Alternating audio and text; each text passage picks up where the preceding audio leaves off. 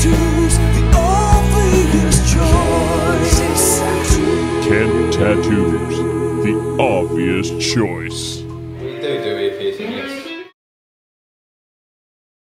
I'm getting a uh, tattoo of Corey Taylor, the man, the myth, uh, because he's a massive influence on everything we've ever done. Who's your number one person you choose to go for a beer with, Marv? That's what I choose to go for a beer with. The album that's taken four years to do uh, is coming out pretty soon. Still haven't got a release date yet, but we'll have it soon. The master's done. And hopefully it will come out on March. And funny enough, four years ago on the 12th of March, we released Duplicity.